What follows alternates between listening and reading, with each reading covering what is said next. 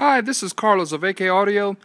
I just got finished with this uh, console. Uh, this console is going into uh, a Mazda sedan. Uh, this console was made for uh, Clay of uh, North Dakota. this console's got a few features. it's going to have two holes for some six and a halves right there. And then this right here, this is where he's going to have his gear shifter. we kind of made it, I, I, think I made it kind of a little bit bigger just so just so he can gear shifter can have some room there.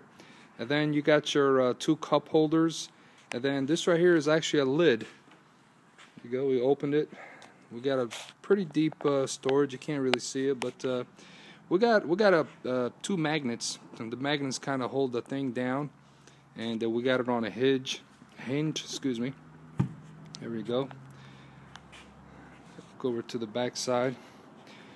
Uh, his his car is red. He's got red carpet and uh, he's got like a red interior. And uh, he didn't want the, the console all red. He wanted to kind of break it down a little bit, like maybe have a, a two tone. So we went with the black. And uh, actually, the black came out pretty good since uh, the cup holder is black. There we go. Let's keep this open like that